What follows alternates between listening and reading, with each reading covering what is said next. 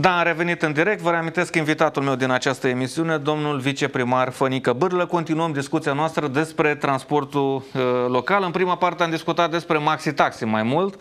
Uh, trecem puțin sau mai mult și la autobuz. Avem o declarație a domnului primar Constantin uh, Boșcodeală, nu o să mai difuzăm, am difuzat-o uh, săptămânile uh, precedente, că din septembrie s-ar putea acorda gratuitate la transportul cu autobuzul în municipiul uh, Buzău. Ba chiar spunând eu că s-ar putea e cam puțin. Domnul Boșcodeală a mers chiar mai departe că sunt șanse mari să întâmple uh, lucrul ăsta. Uh, domnul viceprimar, ocupându-vă și având competențe dovedite în acest domeniu, trebuie să vă întreb și pe dumneavoastră ce părere aveți? Ar fi o măsură bună sau nu?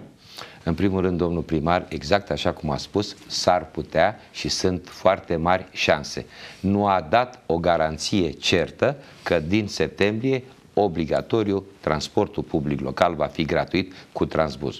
Deci este o dorință, este o, un gând al administrației publice locale, dar până la a pune în fapt acest lucru, sunt anumite etape pentru peste care sau prin care trebuie să trecem noi municipalitatea.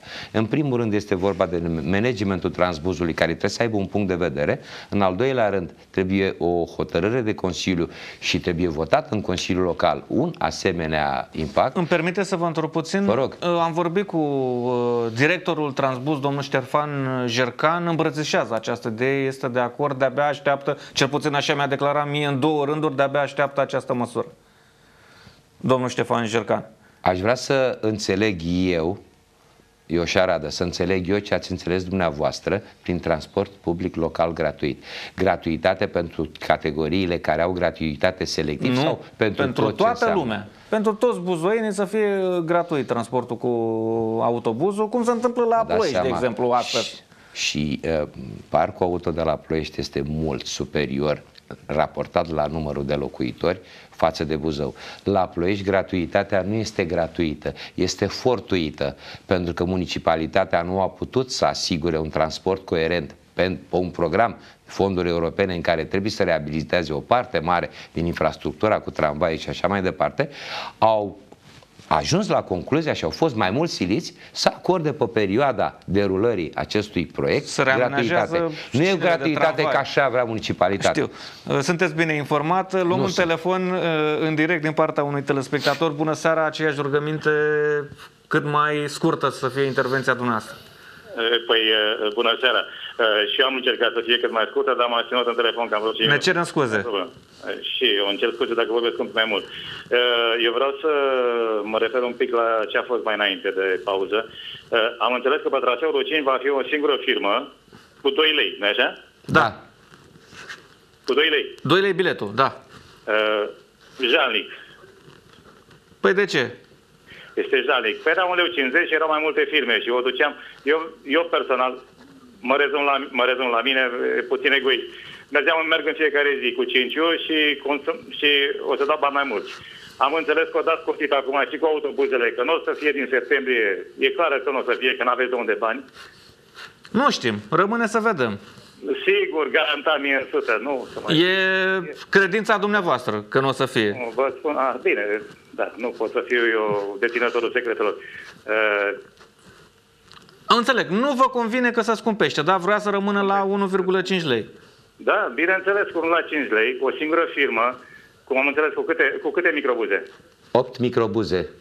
O microbuze. De fapt, nu este o singură firmă, este o singură entitate, ca să înțelegeți exact. La licitație nu poate să participe multe firme, trebuie să participe o, câte o singură entitate care să aibă un parc. Adică să nu participe mai multe firme? Sunt mai, mulți, mai multe firme care au făcut un consorțiu pe traseul 5. Nu e o singură firmă, e o singură entitate, asociația, asociația transportatorilor după traseul 5, care compune 4 sau 5 operatori. Domnul meu, pe mine mă interesează mai puțin că e o firmă, că sunt 10, nici mie nu-mi convine că să scumpește de la 1,5 la 2 lei. O să dau mai mult. E groazic, e groazic. Deci, deci Concluzia. Crește, crește la 2 lei. Da. Uh, din câte am înțeles de la domnul viceprimar, se vorbește, e posibil, nu e posibil ca autobuzele să nu așa, să n-aibă gratuitate. Așa. Motorina, motorina n-a crescut exagerat de mult. Exagerat de mult încât să, să existe, să existe. Bun, atunci ce, ce, ce face? Acum nu știu, stați puțin, acum nu știu, uh, uh, că au trecut uh, 8 ani, ziceți, 8 de ani. când uh, în ăștia 8 Nu, ani nu, o fi nu, crescut. n-a crescut. N-a crescut motorina? Uh, Acum 8 ani de zile motorina mai scump, uh, nu, acum vreo 3, 4, 3 ani era mai scumpă motorina ca acum, să știți. Da? Și acum 8 ani motorina era 3,40 lei și acum este 5,80 lei. Nu, nu, nu, acum 8 ani era, dar acum 3 ani de 3,40. zile era, vreo, era mai mult. Era Și 6 s-a lei. scump- și Anul s-a trecut scumpit de a fost 100 de ori. 6,31. De s-a scumpit, domnul meu. Deci S-a dublat, nu s-a dublat. scumpit. Anul S-a trecut, dublat. Anul trecut a fost 6,31 motorina. Acum e 5,80, 5,70, 5,65. De la 3,40 când s-a făcut 1,50 lei biletul. Da. Da. Arăt toate facturile de motorină din uh, 2007. Mulțumesc frumos pentru intervenție, bă, domnul meu. Nici mie nu-mi convine, cred că nimănui nu-i convine că Să bă, mai a spunem crescut un lucru- prețul, chiar dacă vor fi condiții Să mai mai bune. spunem un lucru statistic. În afară de taxele locale, taxele locale în municipiul Buzău și prețul la transport, ce nu s-a scumpit în municipiul Buzău în 8 ani? Uh, Mai găsiți ceva, Ceva. ce a rămas la prețul de acum 8 ani de zile, în afară de taxele locale, care au crescut doar cu rata inflației și prețul la uh, bilet la mai găsesc ceva, autobuz. dar e în favoarea dumneavoastră. Uh, îmi dați o bere când ieșim din emisiune, nu s-a scumpit gigacalorie către populație. Vedeți că Da. s-a scumpit, dar nesemnificativ. da. Uh, mai luăm un telefon în, în direct. Uh, bună seara. Alo, bună seara dumneavoastră. Întrebarea, vă rog, foarte scurt, Întrebare. suntem pe final. Dacă am uh, văzut aici maxi-taxe astea care circulă acum, Da. are unele din ele, are o scară pe spate lipită pentru handicapați. Da. M-am îmbrcat într-unul și să știți că are 10 locuri. Are 3 scaune, două pe o parte și 4 scaune pe partea cealaltă, mai în față așa. Corect. Iar la spate este un loc viran ca să se urce handicapatul. Corect. Deci acest uh, mijloc nu trebuie primit la transport, că înseamnă că stă călători, vor sta în spate acolo, picioare unul lângă altul. Așa, Dacă- și- Dacă l-a văzut domnul viceprimar sau l-a primit în, uh, să-l primește pe traseu. Deci nu trebuie primit pe traseu. A doua întrebare, dacă pentru maxi-taxele astea s-a discutat mereu că va face niște alte trasee, adică pe sculpturii, pe, pe Prutului, să zicem, pe Libertății, pe Bună întrebarea, da. da, până la 23 august, pe la Policlinica 23 august, pe aici nu circulă niciunul. Și toate... Unii vor pe la Dedeman, de exemplu. Da, și Aș, da, bună întrebarea asta a doua. Mai aveți și altceva? Altceva, de exemplu, autobuzele care vin, doi, care vin din, uh, de acolo, din Mărăcineni, Da. ar trebui să oprească lângă XXL sau Dedeman, când vin înapoi. Adică și sunt tot mai acolo. Merge lumea cu bagajele, uh, cu ce a cumpărat de acolo, merge tot mai, știți, dumneavoastră, Să unde găsească o stație mai aproape, ziceți Da, dumneavoastră. mai aproape, să o mute mai aproape. A treia, de exemplu, la Lidl, acolo. Unde? vis-a-vis- La Lidl. Lidl. La Lidl. Așa.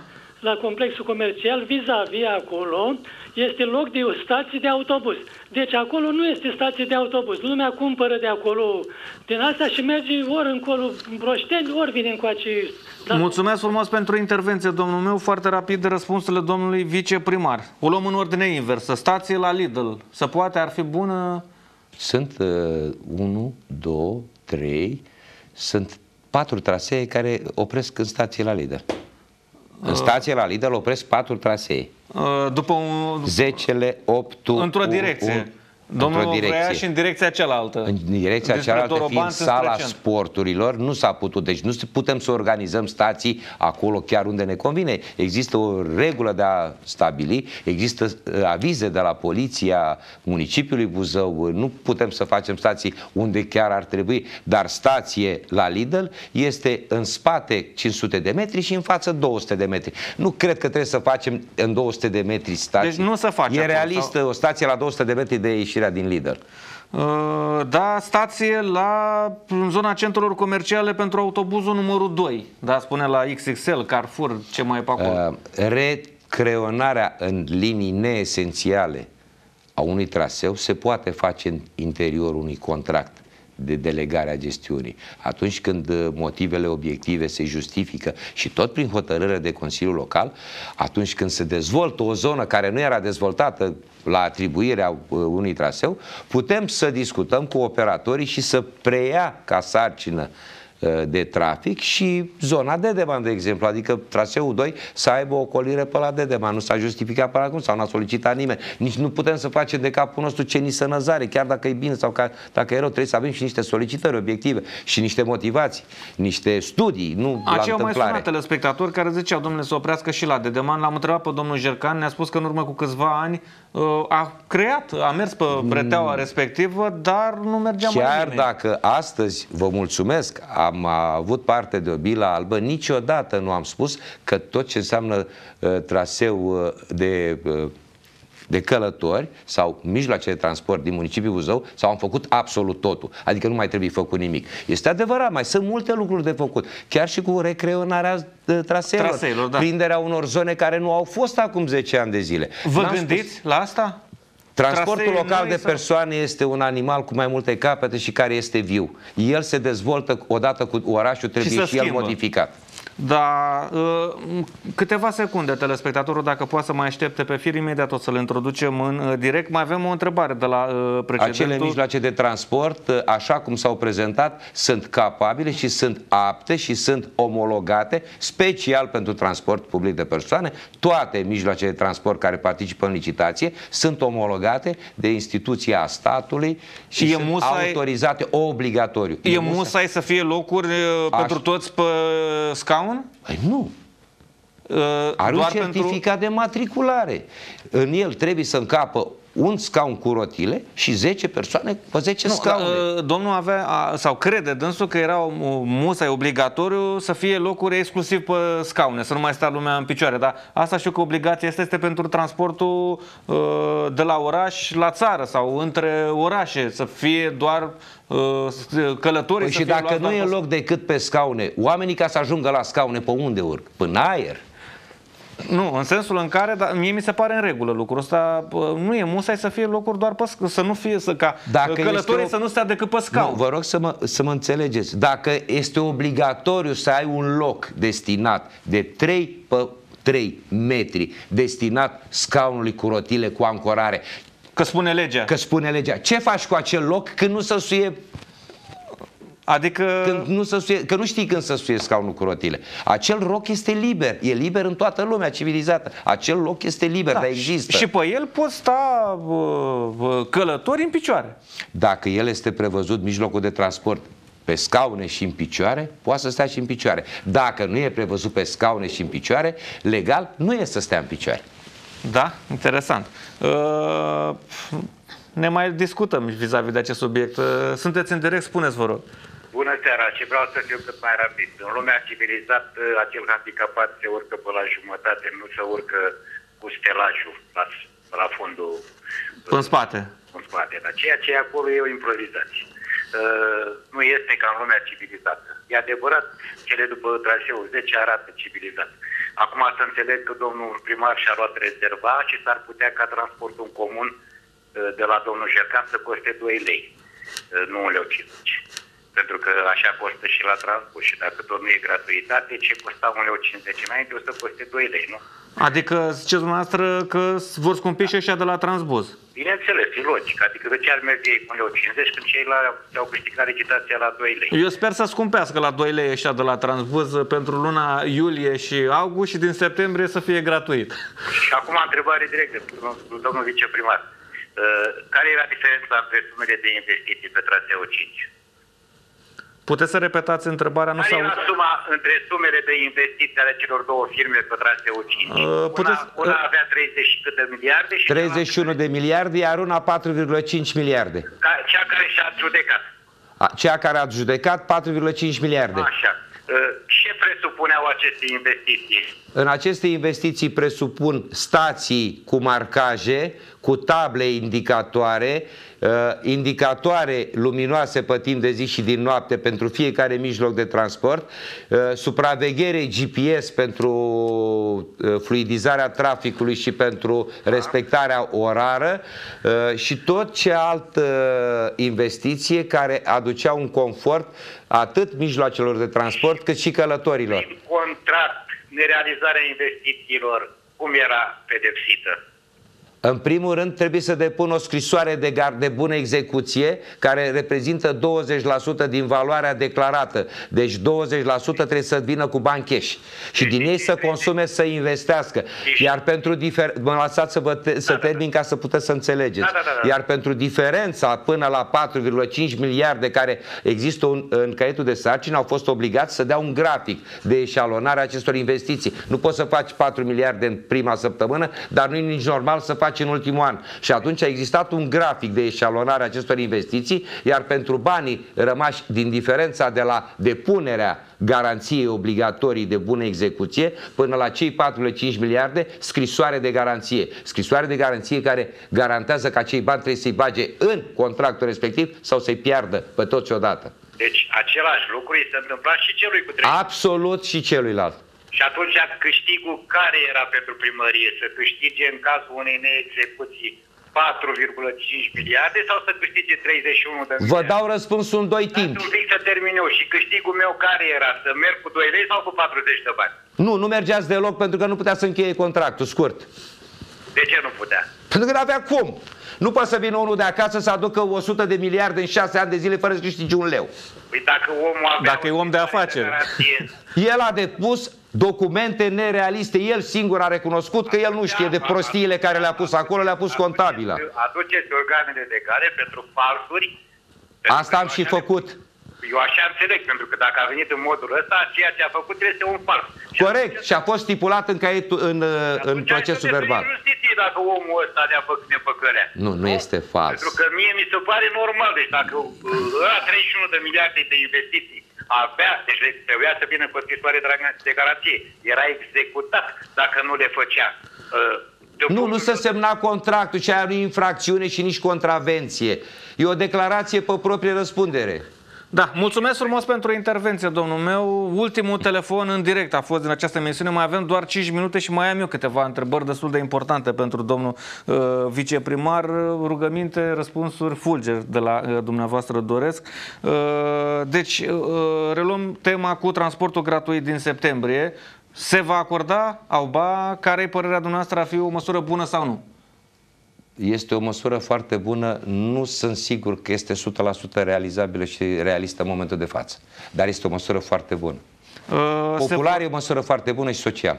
Da, uh, aveți uh, dilemă că ar putea Am fi dilema, sustenabilă. am dilema că 30 de mașini nu or să poată să suporte gratuitatea pentru că în 3 luni de zile vor deveni epave. Imaginați-vă câte 200 de călători pe un mijloc de transport pentru că e gratuit. Toată lumea va merge Aglomerație gratuit. mare. Și atunci mijloace de transport 30 sunt la număr.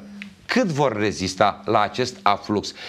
De căl- Asta vă întrebam, deci gratuitate. Domnul Jercan spune că e loc. Sunt 100 de locuri în autobuz. Una e să duci sarcină jumătate decât capacitatea lui de fabricație și una să duci, țineți minte cum erau uh, uh, pline pe scară și mergeau studenții în București pe scară, o mașină de aia ținea șase luni, după care era epavă. E, mi-aduc aminte de alea, de, cum le spuneau, uh, care duceau muncitori în zona industrială, zonele respective, la fel uh, uh, erau. Uh, Și atârnau tablele pe articulate, ele. da. Uh, Când se vor cumpăra autobuze noi? Se dă, uh, există de nou depus în, uh, în Consiliul Local începerea reînceperea a câta oară a procedurilor de licitație. Asta o va stabili licitația când vom lua autobuze noi. Intenția noastră este să luăm. Când nu ne va răspunde decât procedura de licitare. Da, încă trei întrebări. A cui este grădina din fața blocurilor, domnul viceprimar? Că este și asta o, o dilemă a locatarilor sau a primăriei. Tot ceea ce este în fața blocurilor și nu e mai, și este mai mare de 40 de centimetri sau 60 de centimetri la blocurile turn, este domeniul public al municipiului Buzău. Deci nu spațiul locatarilor. Nu există, toate cărțile funciare pentru toate blocurile au suprafața cu- indiviză, suprafața pe care o ocupă blocul plus garda la sol a blocului 40-60 și sunt unele cazuri în care cartea funciară are perimetral 80 de centimetri de la fundația blocului. Tot ceea ce este maxim de la 80 este domeniul public al municipiului Buzău, ceea ce se întâmplă este o cutumă.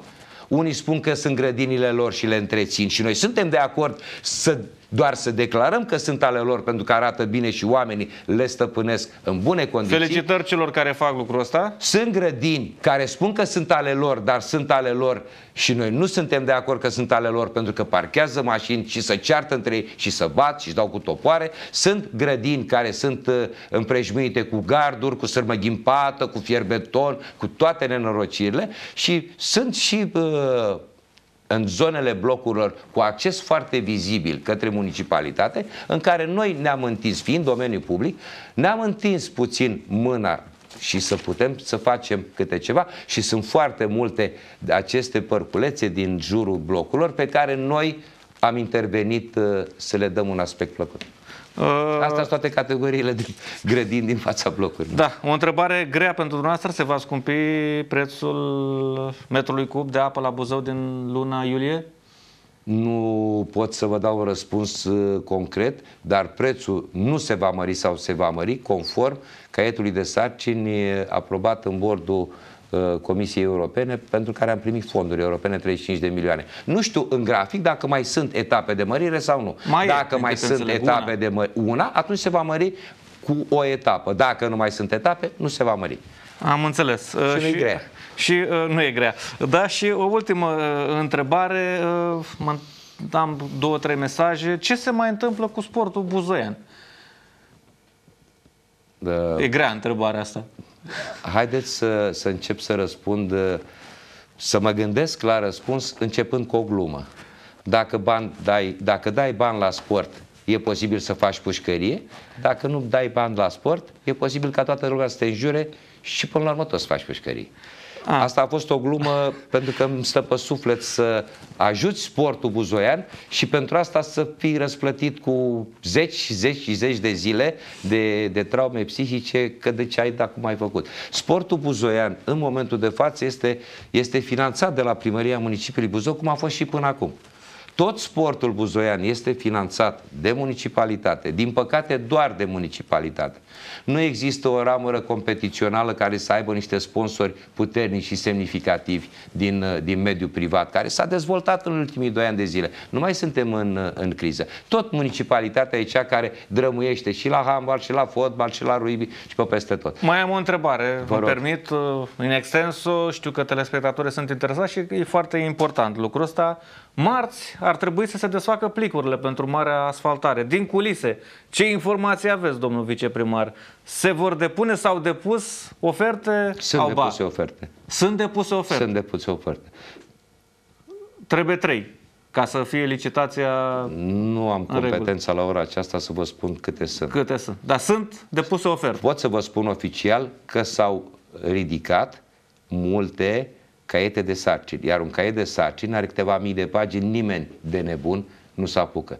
Și au fost ridicate după s- pe site-uri, pentru că s-a ridicat direct după site, e foarte greu un caiet de sarcini de la pentru această licitație. Se Este- face mare asfaltare? Eu cred că da. Da. Uh, Nu, nu discuții. sunt sceptic, dar este greu să spui da cu toată gura. Eu- cred că da. Eu asta Cred că vroiam uh, să spuneți, uh, uh, pe de-o parte, sperând că așa va fi, pe de altă parte... Nu este doar ambiția municipalității, este și ambiția celor mai mari, forurilor europene. Deci țineți cont că acest proiect este centrul pilot pentru Europa. Este primul proiect de acest gen și în această configurație care este, este făcut în comunitatea europeană. Și de aia uh, Banca de Dezvoltare, Banca Europeană pentru Dezvoltare este foarte interesantă, pentru că este centrul lor pilot și și-au ales România și și-au ales Buzău. Nu ne lasă de izbeliște, trebuie să o rezolvăm într-un fel. Mulțumesc frumos pentru prezență, domnul viceprimar, și Cu pentru plăcere. răspunsurile uh, oferite. S-a mai spulberat și un mit uh, că domnul viceprimar Fănică Bârlă controlează sistemul de maxi taxe din Buzău. Am aflat în emisiunea de astăzi că dânsul avea o singură mașină, sau mă rog, uh, f- fiul uh, dânsului, și că din iulie nici, fi, nici mașina respectivă nu mai rămâne pe uh, traseu. Atât pentru astăzi, rămâneți pe Campus TV. Peste un sfert de oră urmează jurnalul de la ora 20, colega mea Mirela Copariu. Până mâine când ne întâlnim aici cu domnul profesor Mircea Costache, eu vă spun la revedere.